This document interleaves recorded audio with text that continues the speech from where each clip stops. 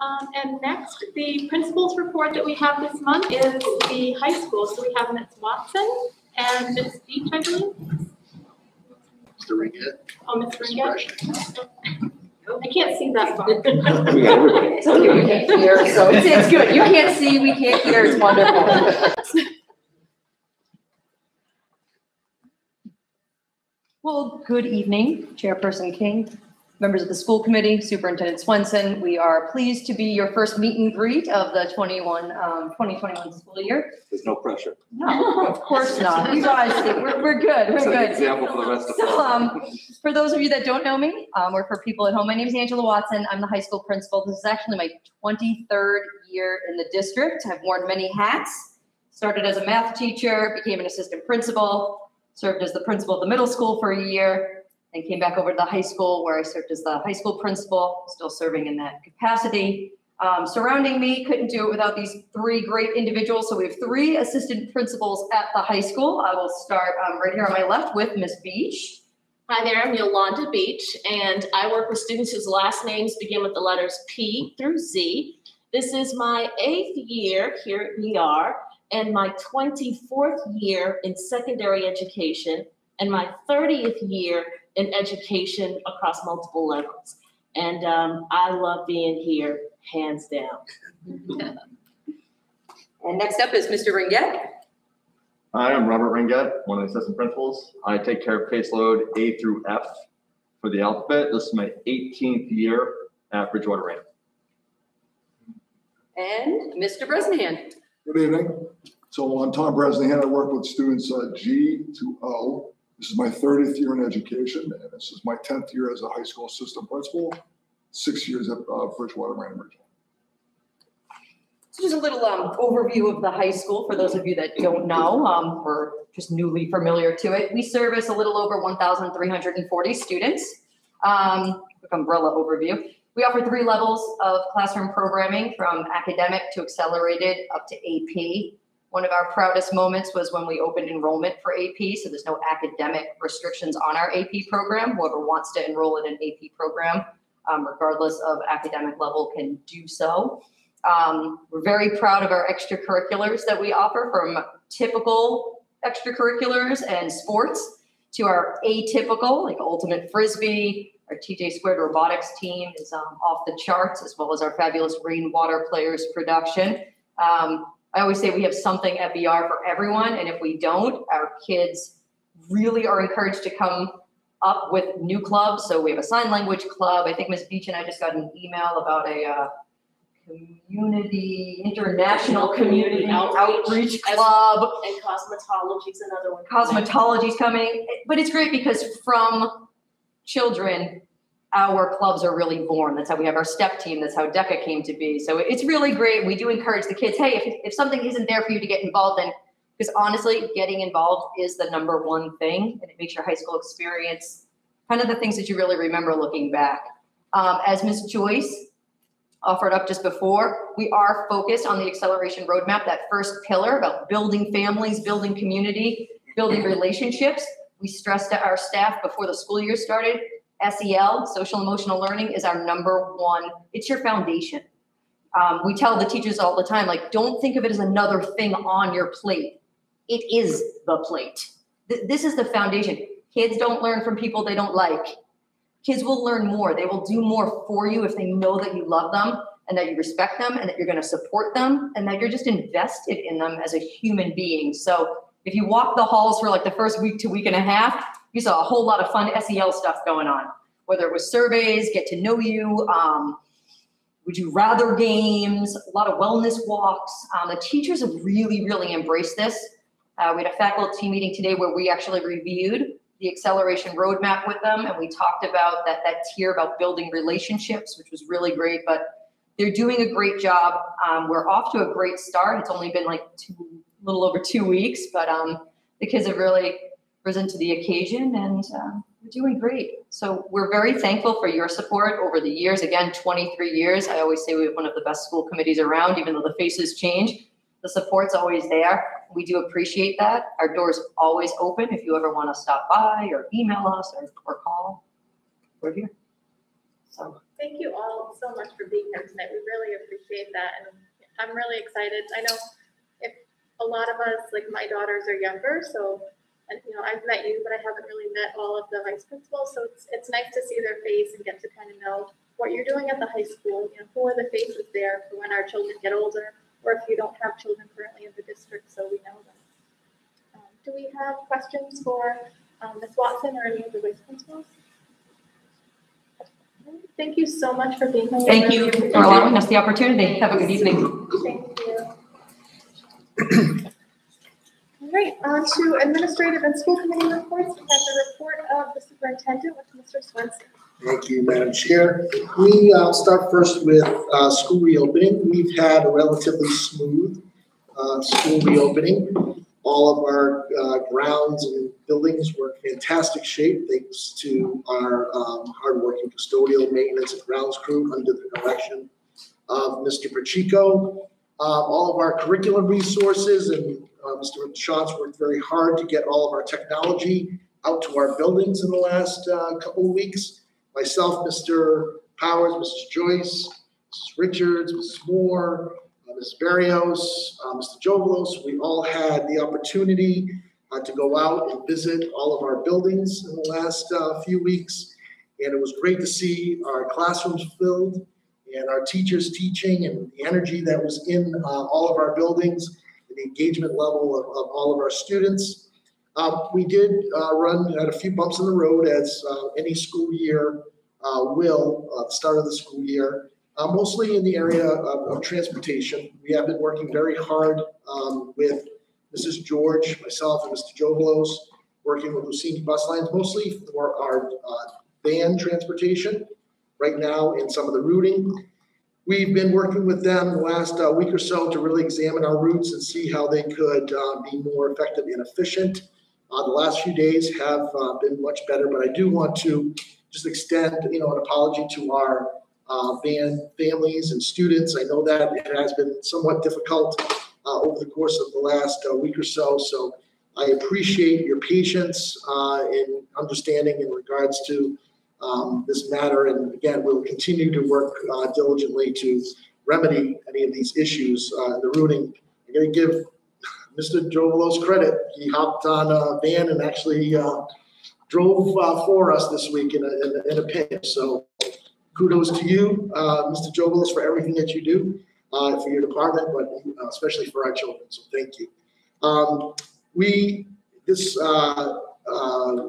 last few weeks too, we have been able to implement all of our mitigation practices. Um, we have had, um, a few situations at our schools, but I will say that our nursing staff, which I say um, each and every year, is uh, second to none. And the implementation of our uh, new testing programs, symptomatic testing and test test stay, have um, really helped us uh, the last uh, few weeks to keep students in school. Uh, so I want to give uh, kudos to Mrs. Grennan, our nurse leader, and um, all of our nurses who are working uh, incredibly hard each and every day in order to um, you know, continue to push through through uh, this pandemic and still keep our students in school. Um, other than that, it's been again, like I said, a relatively uh, smooth opening, and I just want to wish all of our students, staffs, and families a wonderful uh, school year moving forward. So, if anyone has any questions regarding the opening, concerns? Thank you. All right. Um, we'll go on to our uh, boards of health, and I'll give you a quick um, COVID update. And Mr. Powers, as some of our um, local numbers in terms of the district, but one thing that we are running into right now is that the town of Raynham currently does not have a health agent. So we do meet uh, with our health agents every Tuesday. Mrs. King joins us on those calls in the past as the chair. Um, Mr. Dolan had been on those calls. So we are um, trying to work uh, right now, navigate on the town of Raynham without a, uh health agent. But uh, we uh, have had some conversations with Mr. Badger, who is the health agent on the Bridgewater side. Just want to kind of give some numbers over the course of uh, the last two weeks from September 3rd up until um, September 16th. And the new numbers will be coming out um, tomorrow. Uh, Right, currently in the town of Bridgewater, there are 24 positive cases with a 2.7% uh, positivity rate. Uh, Of those 24 cases, uh, 30, 13, I'm sorry, are pediatric cases. 12 of those 13 were school-aged, with one under the age of five. On the Raynham side, um, we just had some difficulties getting these numbers, but we were able to get the uh, positive cases currently from September 3rd to September 16th. Currently 39 cases uh, with a 3.31 positivity rate in the town. One kind of trouble spot, we were not able to get to drill down those numbers were the pediatric cases um, and those that were school age. So that's hopefully information that I'm going to be able to, I know I reached out to Mrs. Lavarento today uh, for uh, some assistance there, but um, we, I contacted the uh, town administrator, contacted the health inspector, who was unfortunately not available, talked to her clerk, reached out to a selectman as well. We're just having difficulties kind of getting our hands on those numbers, but we will. And when we do, I will make sure to uh, report those out readily. Just wanted to kind of ask Mr. Powers if he could uh, kind of speak to, um, you know, within the district, what we've been kind of encountering for the last uh, two and a half weeks with some of our cases, um, positive cases within the district and some of the close contact tracing and testing that we've been able to put in place. Happy to share, Mr. Swenson, um, Madam Chair, members of the school committee. Uh, So we are required now to report cases uh, on a weekly basis to DESE. Their reporting week is a little bit different than a Monday through Friday. We actually report cases Thursday through Wednesday. Uh, Everything has to be submitted by Wednesday at 5 PM, and they're releasing this data on Thursday. I know Mr. Swenson uh, is sharing a district tracker uh, that encompasses a Monday through Friday approach. So I just, you know, I throw that out there to start because some of these numbers may not completely match up to uh, all those different trackers. But just to give you a, a quick snapshot, uh, I'm going to kind of share three, three different sets of data. Uh, give you a snapshot of what today was like, uh, give you a snapshot of what uh, this last reporting window uh, looked like. So from the 16th through the 22nd, and then give you an overview of the numbers from the beginning of the year. So just today, September 22nd, uh, we had one uh, positive case at the preschool, uh, which resulted in 23 close contacts. Uh, and again, uh, you know, I, I know you know this, but every time a, a close contact is identified, that is a notification that needs to go out. Uh, you know, obviously, and then um, you know, sending phone calls, sending letters, uh, conducting meetings. Uh, we are obviously, you know, conducting test and stay this year. Uh, so that resulted in uh, 11 test and stays. So those tests had to be administered. Um, and so just at preschool alone, you can see the, the massive undertaking.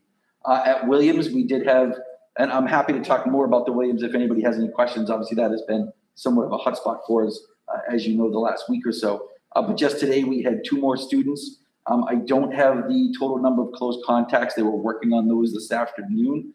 Um, in terms of, you know, the Williams, you know, the one one issue we run into over there is those students are just not eligible for the vaccination.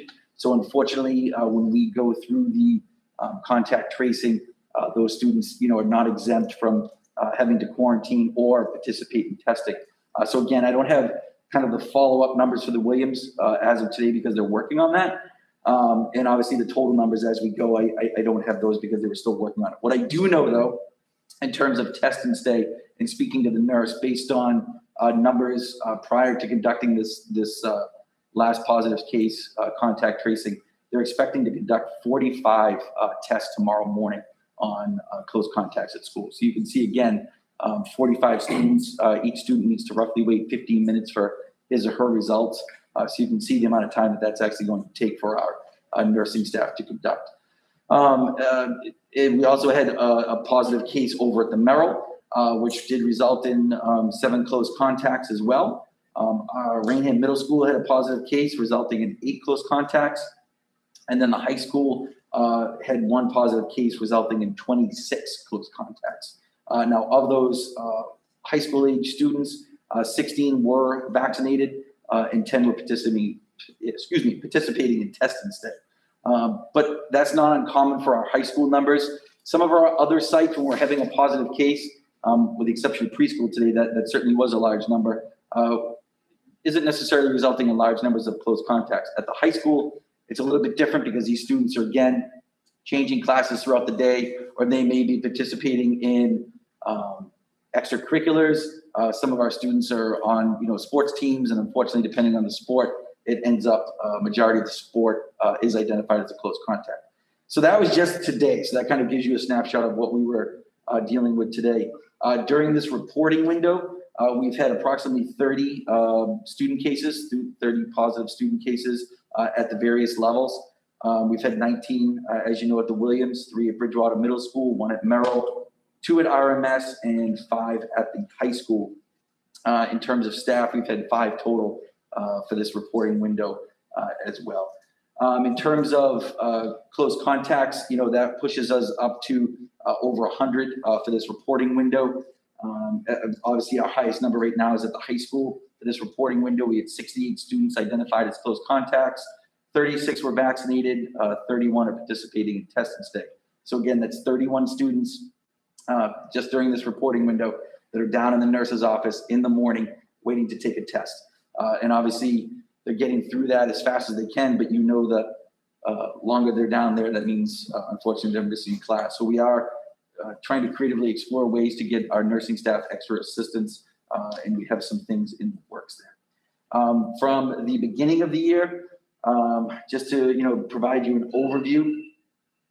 My time up. My, my, up. um, so overall, from the beginning of school, so we went, we counted the beginning of school as that first day. Obviously, our staff uh, were back the week prior during uh, convocation. We did have some students participating in preseason activities, uh, but just to keep it consistent, and I can share some of those uh, preseason numbers with you.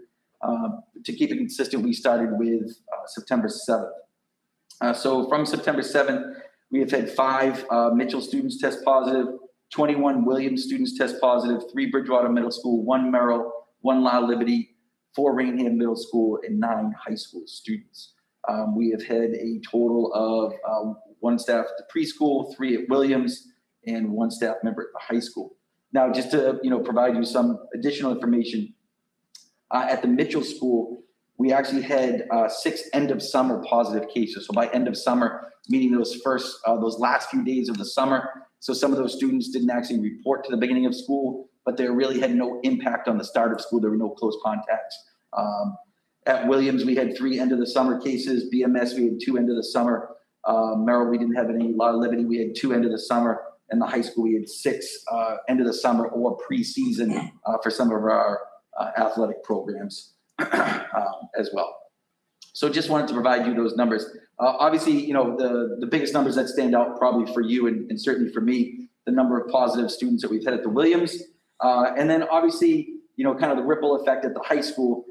Uh, we've had nine positive students, which doesn't seem like much, but that has resulted in 117 close contacts at the high school. Uh, thankfully, 64 of those students are vaccinated.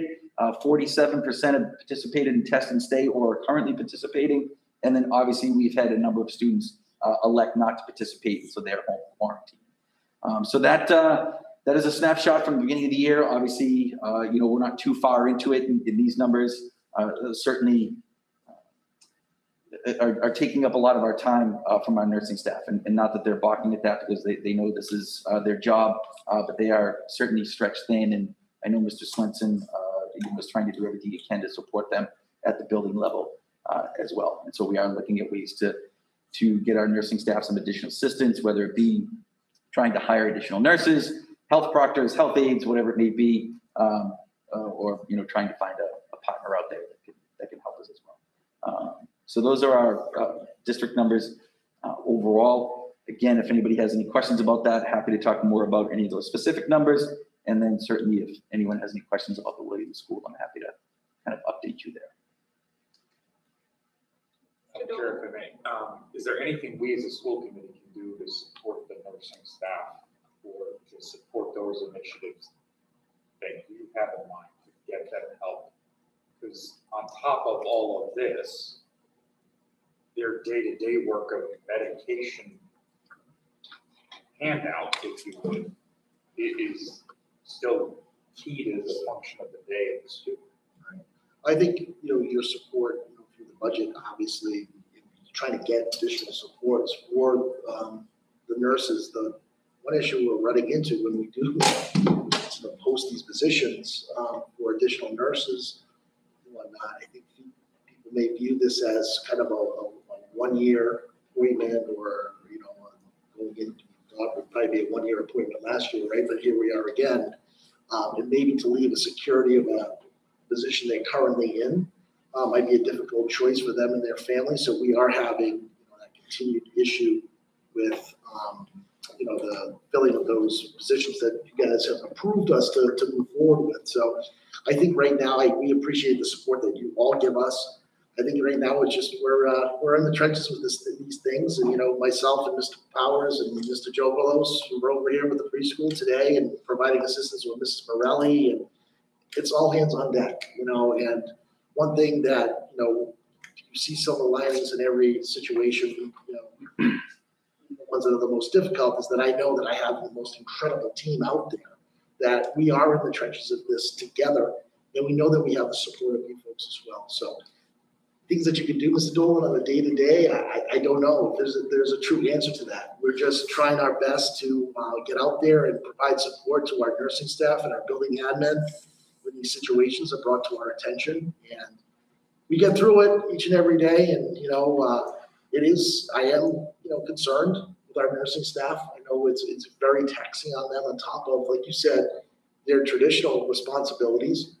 Um, so Mr. Powers did take a meeting yesterday, uh, with the chiefs uh, of the fire department. And that's something that, you know, we're gonna explore as well, uh, moving forward. So hopefully that's something that, you know, we can kind of put into practice uh, moving forward, having maybe some of our paramedics in town come up and help with test and stay. I know a few showed up today to, to assist us, and we're hoping to make that more of a consistent, um, you know, practice as well. So we'll be bringing some of that information forward to our budget sub because there will be a financial impact on that, and then possibly presenting that information um, at uh, the October school committee meeting as well. So as Mr. Power said, we're trying to get as creative as we can uh, with, um, you know, limited resources that we have. But we're not the only district in, in this situation, um, and we, we're gonna do what's best for our kids and staff and continue to fight on. So, um, other than the support that you give us terms of giving us permission for these positions, um, we appreciate that offer, uh, but I, I think, again, I don't think there's any real magic pill to this thing. I think it's just kind of getting through day to day, taking it one day at a time, so. In, in that meeting, Mr. Swenson referenced it, uh, go very well. Both chiefs were very receptive to offering, you know, any type of assistance they could. Obviously, there's some logistics there that need to be worked out, and so those are things we're exploring now, but we did have uh, an offer today uh, for a couple of the fire, firefighter paramedics to come down and help, and um, I know the Williams, just given the large number, uh, they hadn't, you know, gone through their testing so fast uh, yet, and Mr. Clark joked at our admin meeting today, today was his his best day yet because all those kids were back in class. And so if that is something that we can explore to continue uh, to partner with them and, and they realize it, it, it could ebb and flow. Some days are going to be, uh, you know, a lot of students and or possibly staff, and some days there may not be any. Uh, but right now, it's pretty consistent with uh, having a lot of tests to administer on it. on it. Or or even, even our administrative meeting today, ad- administrators requesting to be test, uh, trained to, to administer the test as well, so. Currently, if, uh, I believe three, three of our administrators are helping our nursing staff. They were trained themselves and they're actually gowning up uh, and helping uh, administer those tests to our students. Uh, Just to share, Mr. Swenson, too, I, I know uh, you were curious to know. Uh, Obviously, you know, we had released a link yesterday to our parents through PowerSchool uh, for them to upload proof of vaccination for their students. Uh, As of this afternoon, and again, it's only less than probably 24 hours later, uh, we had roughly 400, um, uh, 400 submissions of our students that are, that are eligible. So those are, those are good initial numbers. Um, Our nursing staff does has a, ha- have a way to cross-reference those with the state database, uh, but obviously we wanted to be able to have that information in our own local system because you know, the more we have redundancy in place, uh, the better off we'll be, uh, because we do know that systems crash. And so if the nurse, the state system crashes, the nurses can't have access to that. So at least we have a backup in PowerSchool. Uh, Ms. Cordero, uh, had also shared a, um, a Google form for our staff, uh, confidential Google form to share their vaccination, uh, rates. Uh, we obviously, you know, we're a little over fifty percent, uh, response rate at this point, uh, but of those that have responded, ninety-three percent are vaccinated. So we're confident that, you know, those numbers are heading in the right direction. As you know, the Department of Elementary and Secondary Education has set the uh, target vaccination rate at eighty percent for October one for us to, to revisit. We haven't really received any additional information on, on what that may look like. Uh, but, you know, obviously, we're falling a little bit short right now of that vaccination rate. We did run another vaccination clinic in the beginning of September, and the second shot is coming up on the first. Um, we did have 42 additional uh, students, staff, and family members take advantage of that vaccination clinic. So, uh, in, in speaking to the vendor that did that, they actually said those are really good numbers, just given the fact that, you know, this is, um, you know, some time now later, in, in terms of that initial rollout, they're showing up at some vaccination clinics and no one's showing up. Uh, so the fact that we had 42, they, they felt as though that was a positive sign. So hopefully we, we get some more of this, this second round. Yeah, just, you said about staff's vaccination status. Uh, if the president's idea of pushing it through OSHA goes through, will that affect the district as an employer? So, uh, but my understanding of that, uh, and, and I don't claim to have all the answers on that, Mr. Fitz- Mr. Fitzgibbons. I, I- believe, uh, because we're, a a local public entity, I, I don't know if that hundred percent applies to us. Um, I know obviously employers with greater than hundred employees, uh, have that ability to do that. Uh, but I believe I did read that, read there was some stipulation in there about, uh, the government, um, state and local uh, government agencies, um, may not be able to, to do that. But to be determined. I think that's obviously something Ms. Cordero, Mr. Swenson, and I will have to vet through to see if that's uh, even possible. Thank Um, Mr. I know we're into our third hour since we started at six, so I'm gonna be very brief, but I just have, uh, three questions. Uh, the numbers from the town of Bridgewater, um, does that include Bridgewater State University? Because I know some of those students, when they're positive, get reported back to their home communities, even though they're technically quarantining in their dorms here in Bridgewater. So I just, I didn't know if those numbers actually included, uh, Bridgewater State. Bridgewater State's numbers right now, don't, they don't go through Bridgewater major. My understanding is, is no, I, I could be wrong on that. Uh, To your point, Mr. Murray, I, I believe they are getting reported back to their home communities and uh, not factored into our. We've had, we've had situations where our students contracted in Boston, they, they, they ended up impacting Bridgewater and Rainier,'s numbers. Right, and that's why I wanted to see if those numbers were kind of, I know we have a correctional setting in Bridgewater also. I don't think they're going anywhere. Um, so they're not as transient as college students could be. And also, I just didn't know how accurate those numbers, you said twenty, Twenty-four twenty-four cases for right now. Bridgewater, because I just didn't know if that included, uh, BSU student population. I believe the students, again, they're, they're where they reside, um, outside of BSU is where those numbers are Does the campus have a way of tracking internally, no matter where they reside? And are they able to share that data with the town of Bridgewater so we have a better idea of within the town of Bridgewater itself, whether you're a resident or not? They're technically still here. Well, not Raynham, but Bridgewater. I know they are keeping their own internal data. Um, I'm not sure if they'd be willing to share. We could certainly ask. We have, we've had a really good partnership with them and Imagine that. Dr. Chris I'm sure if that's getting shared with the, the health agent for Bridgewater. we can check with them. Good, thank you. Uh, Another thing, um, I have spoken to several parents in a bunch of different schools, uh, and there, there, I don't know if there is an inconsistency on the level of sanitation that we were originally, um, and hygiene that we were originally pushing in the beginning of COVID. Uh, maybe we have, you know, loosened up a little bit, but, you know, I'd like to find out if there is, and if maybe we can put a, uh, uh, a, um, unified front approach to this across the district that, you know, we still should maintain hygiene, uh, spraying down surfaces. I don't know if, the- if our janitorial staff is still doing these deep cleanings every night or not, but There's, there's spraying in the buildings, uh, just not all areas of the buildings, but the science behind it, if you, if you read the science behind it, it's that it's not transferable from surfaces. However, it's a situation where some of the areas like the clusters that we've had over at, uh, Williams, those areas have, um, experienced the, the deep cleaning and the sanitation spray. Well, and I'm not even just talking about the COVID, but just common cold. Because I know of a student, I think here in this building, that had a sore throat and now is being forced to get a COVID testing because they actually had regular cold. Um, so I just want to make sure that we're still pushing forward, you know, germ prevention, we'll call it germ prevention. So students are again categorized as COVID symptoms.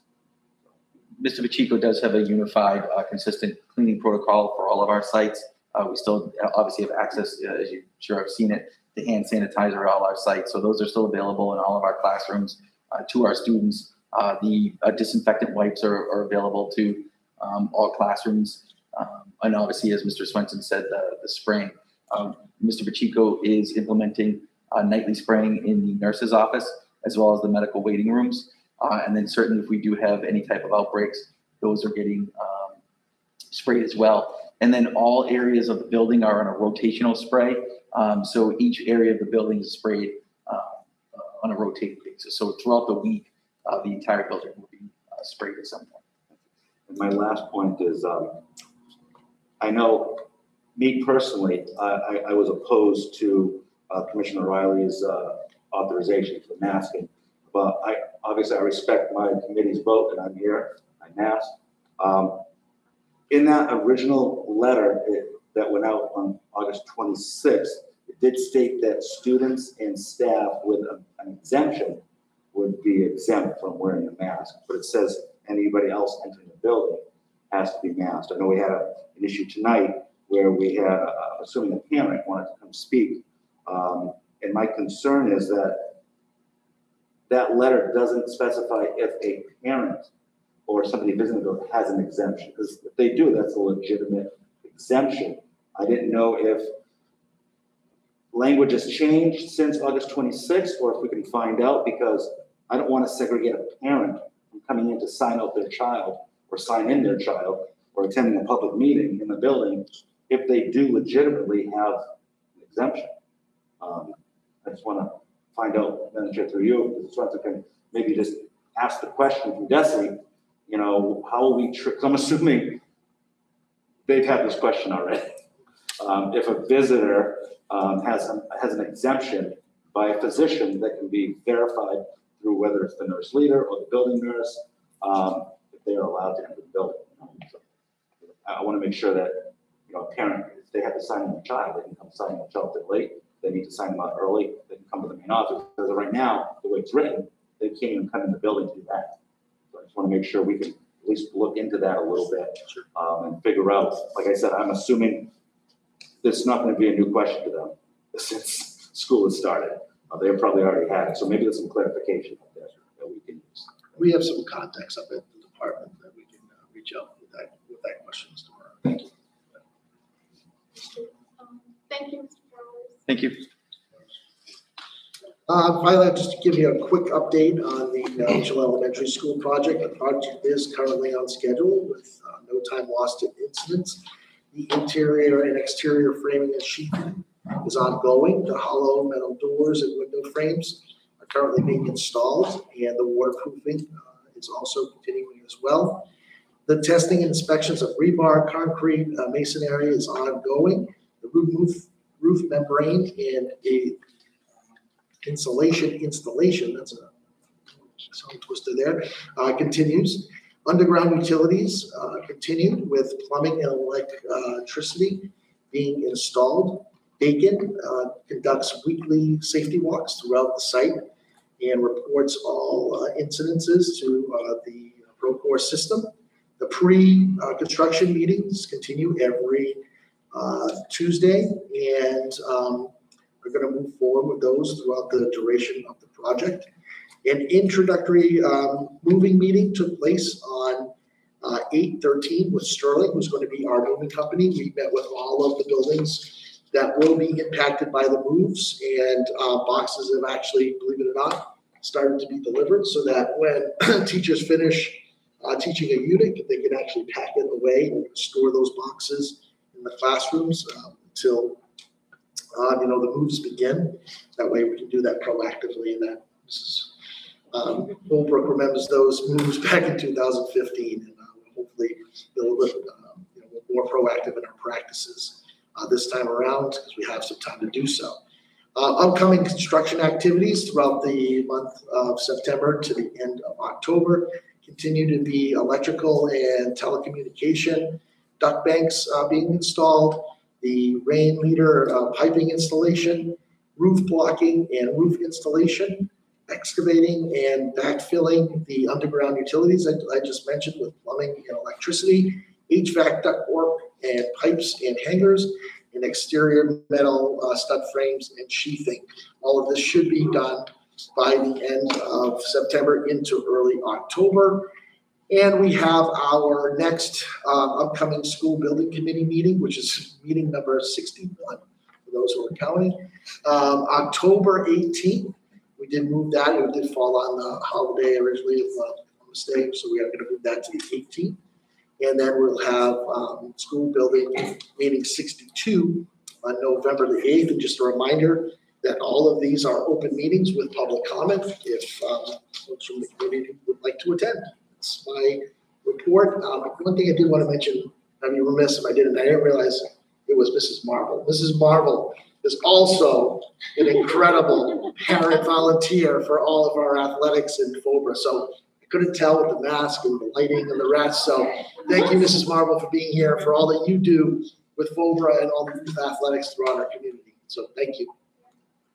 Do you have any questions? Mr. Uh, are we staying on budget with the building?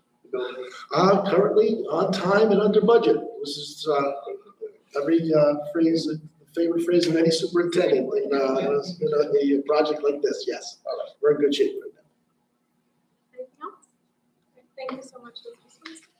Uh, moving on, um, the MASC Delegate Assembly, I do not have a report this month. That will be on October. It's November sixth. Um, so I will bring as a report just so we can vote on a consensus of how uh, I will vote at the Delegate Assembly on November sixth in hand.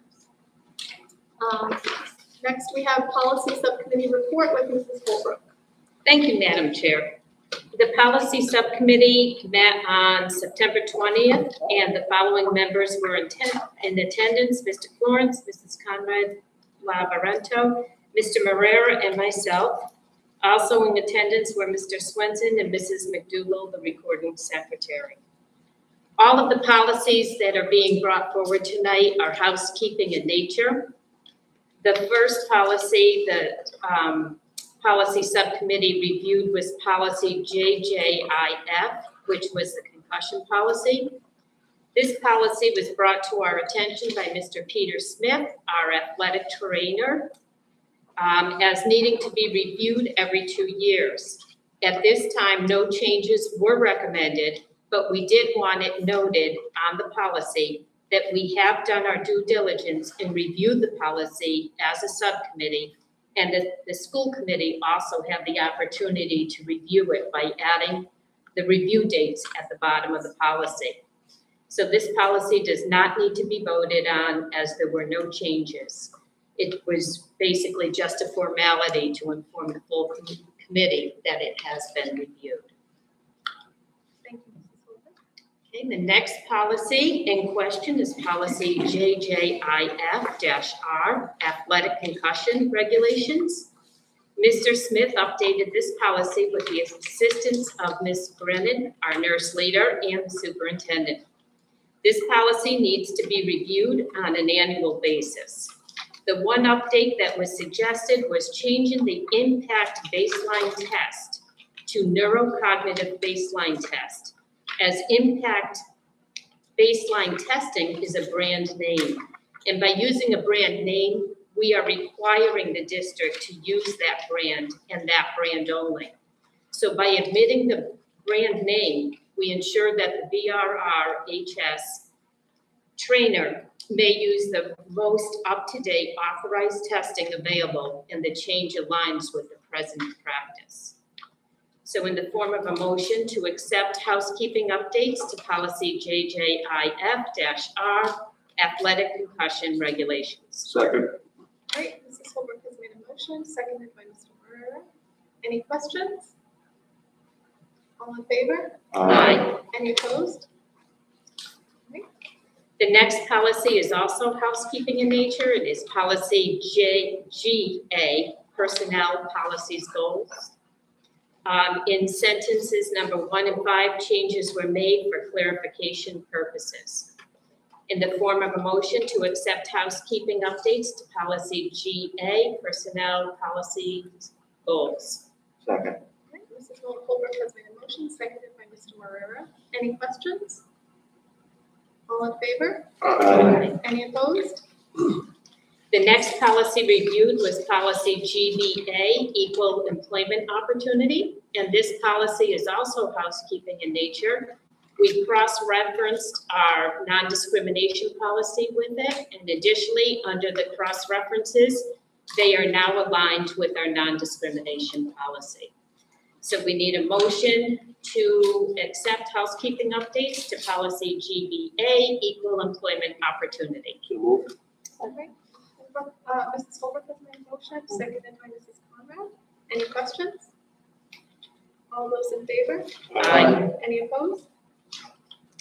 The next policy to be, re- was reviewed and updated is policy GBEA, staff ethics conflict of interest. The policy subcommittee thought it may behoove us to add the state ethics training, since these are mandated trainings, to this policy.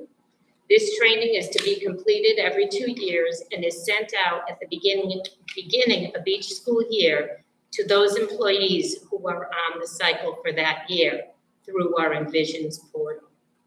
So in the form of a motion to accept updates to policy GBEA, staff ethics, conflict of interest. Second. Mrs. Holbrook has made a motion, seconded by Mr. uh, Fitzgibbons. Any questions? All those in favor? Aye. Any opposed? And the final policy we reviewed was policy GBEB, staff conduct, and this policy is housekeeping in nature as well. And the wording in number one was changed for clarification, and number six was added to reflect what we are doing presently in the uh, district. So in the form of a motion to accept housekeeping updates to policy GBEB, staff con- conduct. Second. Right, that was a motion by Mrs. Holbrook, seconded by Mr. Marrera. Any questions? All those in favor? Aye. Any opposed? And that concludes my report of the policy subcommittee. Thank you. Thank you, Mrs. Holbrook. Um, and next we have Boston Planning Subcommittee report from Mr. Florence. Thank you. On September 1st at 5:30 PM, the Long Range Planning Committee met to review and finalize the superintendent's evaluation. Committee members present at the meeting were Mrs. Conrad, Mr. Marrera, and myself as Long Range Committee Chair. In this meeting, we finalized Mr. Swenson's goals for this year and selected two focus indicators for each of the four performance standards to evaluate Mr. Swenson for the 2021-2022 school year. In your committee folder, you will find the superintendent evaluation form with the four proposed goals and the two selected focus indicators for each of the four standards highlighted. We made sure that the proposed goals align with the five-year student success plan to help the district work towards completing that plan. I would now like to make a motion to approve the following goals and focus indicators for Mr. Swenson to be evaluated for the 2021-2022 school year. For student learning goal, uh, Throughout the school year, I will oversee the revision of the curriculum review cycles to ensure all staff are utilizing the Massachusetts State Frameworks Assessment and Assessment data to drive instruction. This aligns with pillar number two, uh, establish a cohesive, rigorous district-wide system of teaching and learning. First, professional practice goal. Uh, Throughout the year, I will oversee the implementation of professional development that supports social and emotional well-being, of students as it pertains to pillar number one, safe and supportive schools. For the district improvement goal number one, throughout the school year, I will monitor and evaluate the accomplishments of the action plans of pillar number three, technology, ensure access to technology that is effective, is effective and efficient, and meets the educational needs of the district. And district improvement goal number two, oversee the implementation of proper recycling in all buildings district-wide. And I will monitor and evaluate the accomplishments of the action plans of pillar number four facilities, establish and maintain environmentally and operationally safe school facilities. And then the following uh, focus indicators were selected for the four evaluation standards. So um, for standard one, instructional leadership, uh, one B, instruction ensures that practices in all settings reflect high expectations regarding content and quality of effort and work. Engage all students and are personalized to accommodate diverse learning styles, needs, interests, and levels of readiness. And the second one is uh, one E, data informed decision making. Uses multiple sources of evidence related to student learning, including state, district, and school assessment results and growth data to inform school and district goals and improve organizational performance, educator effectiveness, and student learning. Uh, for standard two, management operations, uh, we selected uh, two A, environment, develops and executes effective plans, procedures, routines, and operational systems to address a full range of safety, health, emotional, and social needs. And we also selected two E, fiscal systems, develops a budget that supports the district's vision, mission, and goals, allocates and manages expenditures consistent with the district and school level goals and available resources. Uh, for standard three, family and community engagement, uh, three A, engagement was selected, actively ensures that all families are welcome, members of the classroom and school community, and can contribute to the effectiveness of the classroom, school district, and community. Uh, Three C was also selected, communication, engages in regular two-way culturally proficient communication with families and community stakeholders about student learning and performance. And finally, for standard four, professional culture, four B, cultural proficiency, ensures that policies and practices enable staff members and students to interact effectively in a culturally diverse environment in which students' backgrounds, identities, strengths, and challenges are respected. And finally, uh, four C, communication, demonstrates strong interpersonal, written, and verbal communication skills. Right, uh, Mr. Florence has made a motion. Do you have a second? Second by Mr. Fitzgibbon. Um, discussion and questions. Um, first, uh, what is the timeline of reporting out and final, um, evaluation? So that's something we, uh, we're looking at. Um, for next year, our goal is to first off finalize these goals in the summertime. Um, and so to do that, Mr. Swenson will bring the, his goals to us much earlier at the end of June when we report. So our goal is, um, that he will have a mid-cycle, well, each meet, uh, at each meeting, he's gonna report out on one of his, um, goals to show us progress, and then he'll have a mid-cycle. We decided, we ended up in March. I think we said February, February, yeah, because, so we're gonna go February for the mid-year cycle. And then he will present in May his final presentation of his goals. And that way we can do the evaluation for the June meeting and then immediately start planning for next year. Yeah, that makes sense. Uh, do members have questions? Perfect. Um, all in favor? Aye. Any opposed? Thank you so much, Mr. Florence and Long Range Committee for that. Um, report from the business office is next with Mrs. Lucido and Ms. Robichaud.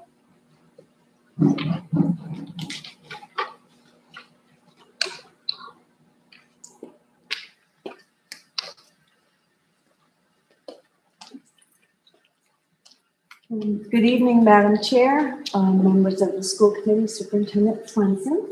I think we'll start with our Treasury Department first and Mrs. Robichaud go first. Good evening. I'm here to update you on what's going on in the treasurer's office since the start of school. We are look, we are working on the E and D certification for fiscal year twenty-one. This includes the preparation and submittal of the statement of indebtedness, which was submitted well in advance of the due date. Currently, we are working on the treasurer's year-end report, which is due on September thirty. It is my inten- intention to submit it by September 27. We have scheduled the auditors for the beginning of October to begin the fiscal year 2021 audit. The auditors have requested some information prior to their visit, which includes pulling bank reconciliations, bank statements, outstanding checklists, deposit receipts, 941 quarterly reports, and the schedule of long-term debt. The daily tasks of taking in receipts and posting them to the general ledger is ongoing. This year, we hired a records data entry secretary to assist with maintaining filing systems throughout the central office, as well assist with daily posting of receipts. It is my intention to slowly increase the types of work he is exposed to in the treasurer's office. And this concludes my update. Um, in the business office, uh, we're working very closely with the treasurer's office. And currently, right now, we're very uh, submerged in doing reporting for the previous fiscal year. So one of the things that we're working on is the end of year report, which is from the Department of Elementary and Secondary Education. It's a culmination of everything fiscal that happened in FY twenty-one. It's very complex, it's very detailed, um, and it asks for information in several different ways. There are about 20 schedules that have to be done, and everything has to prove out. So that's due this uh, September the 30th. Uh, actually, October 1st. I'm planning on trying to get it in sooner. I'm almost finished. Um, so that's one of the main focuses. The other thing is our projects that we've been doing. Been working with, you know, MSBA and getting those pro pays in for the Mitchell Elementary School. We're right on time. We've got everybody submitting all the September um, invoices together so that they'll all be paid together, so we won't have some that have been mismatched and, you know, I'm still paying for May here when we're already on, you know, October or whatever. So those are coming in, they come in regularly. I'm kind of like a dog on a meat wagon, trying to make sure that uh, those things are coming in and that money's turning around and coming back to us so we can get some credit for it. Um, the other projects that we're working on, obviously the overlay project that's been ongoing, uh, and the auditorium, um, replacement of the seating. And, um, they are really in bad, bad shape. Uh, we had, uh, several folks come in on, I think it was the twenty-first yesterday, uh, to take a look at everything. It was a pre-bid conference. And uh, questions can be answered up until September 28th with a bid opening date of October 1st. So we'll be able to look at fabrics and things like that very shortly. Um, and let's see, um, also, um, talking about the budget and E and D certification, I've been working very closely with Natasha on getting all of those documents that the auditors want, while also helping her with the certification of E and D, because both of us have to sign off on various areas of those reports. And uh, lastly, we'll be working, as soon as I get these due dates accomplished here, then I'll be working on the FY twenty-two budget more. And we should have, at that point, everybody in the budget. I know we've probably got some new hiring coming in uh, with Mrs. uh, Cadero, but um, we're trying to get everybody in, in the right place, and then we'll start looking at, did we budget as well as we thought we had? Or did people move around? So that's um, basically what's going on at this time of year in the business office. And um, I don't know if you have any questions, but I'd be happy to try to answer them. Do you have any question, Mr. Uh, Dolan? We're still freezing the budget on October one. Yes. Yes. And I've told folks to get things in so that we can do that. We also had a, um, Yeah. a retroactive pay uh, for an employee who got a um, increase, a lateral move from a bachelor's five to a master's five. Um, And for some reason in fiscal year twenty-one, it, it didn't get changed and um, the person wasn't getting paid the additional money. So we will need to do a transfer from E and D in the amount of seven thousand two hundred and eighty-three dollars so that we can clear up that issue. We can fix this year, no problem.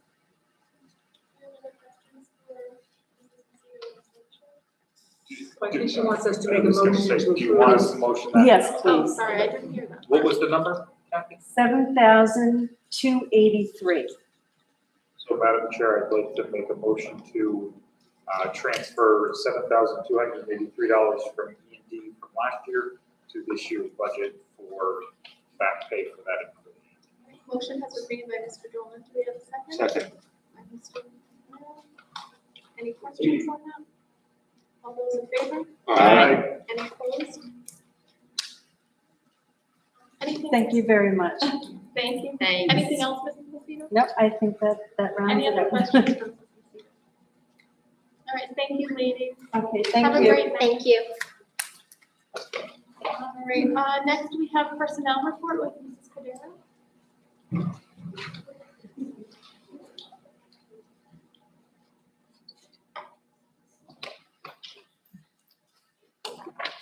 Good evening, Madam Chair, members of the school committee, Superintendent Swenson.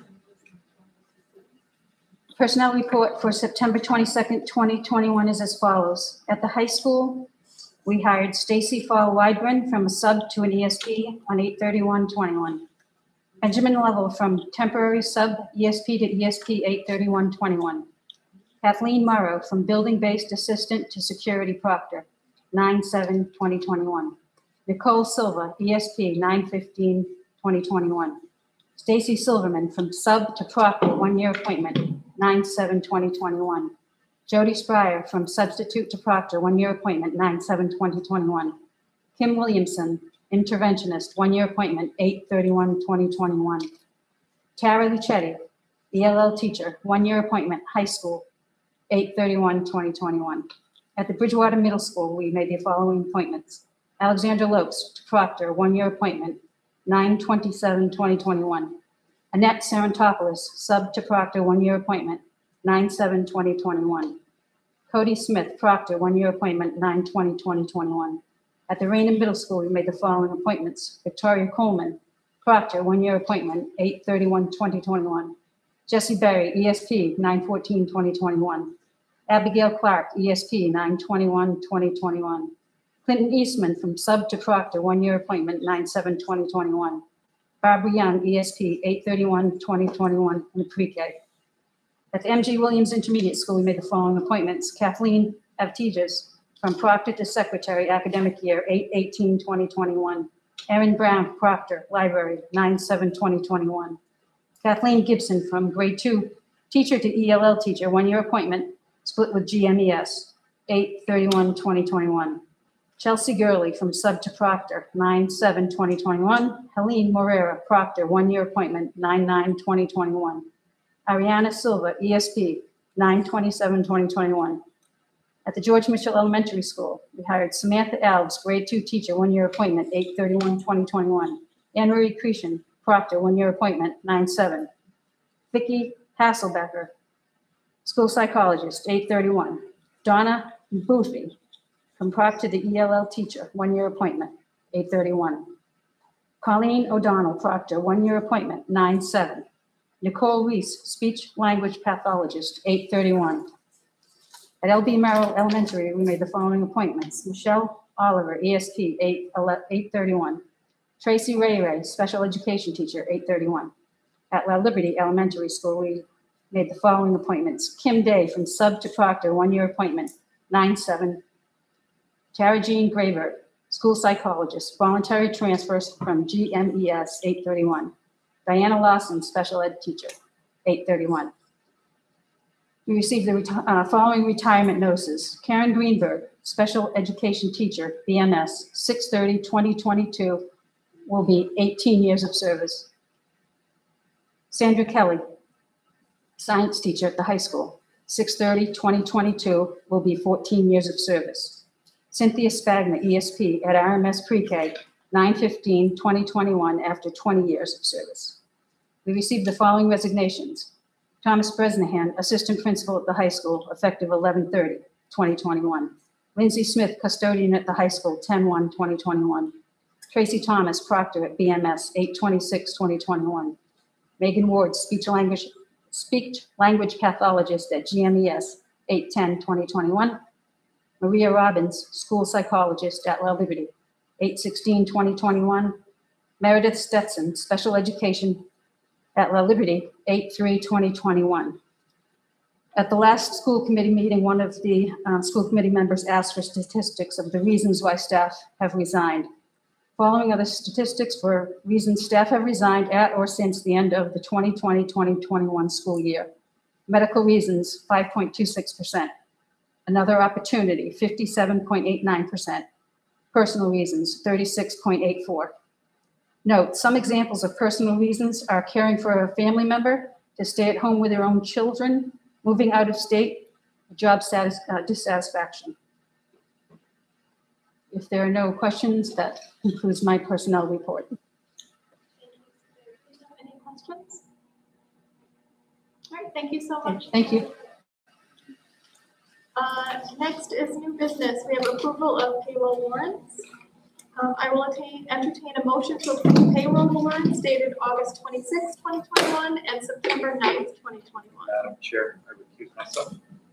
Thank you, Mr. Dolan. Madam Chair, as uh, per the uh, last report, my uh, wife is currently a project for the district. So I will be abstaining from tonight to the foreseeable future. Thank you, Mr. Mara. Um, Second? Second. Second by Mr. Florence. Um, all in favor? Aye. Any opposed? I abstain. And then we have two abstentions. Thank you, everyone.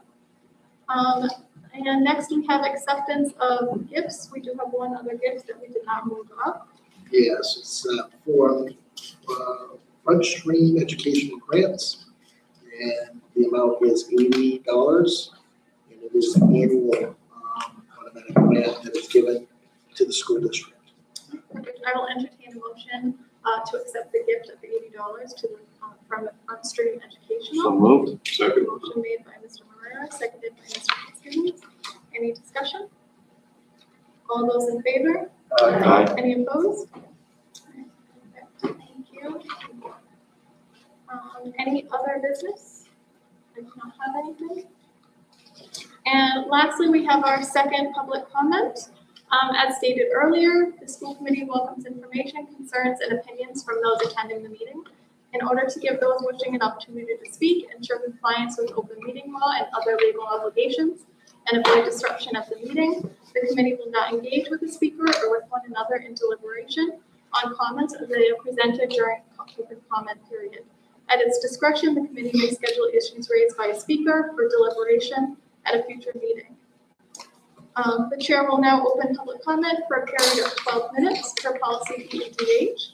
And would ask anyone who wishes to speak to approach the microphone, provide your name and address, and keep your comments to under three minutes. Um, do we have anyone in the public that would like to speak? All right, um, we do not have anyone. And lastly, announcements. The next, uh, regular school committee meeting will be Wednesday, October twenty-seventh at seven P M. And that will be at the high school lecture hall. Uh, do we have any other announcements by committee members? All right, none. Um, this concludes our school committee meeting. I will entertain a motion to adjourn at nine forty-six. So moved. Motion made by Mr. Marrera, seconded by Mr. Fitzgibbons. All in favor? Aye. Any opposed? Thank you, everyone, and have a wonderful night.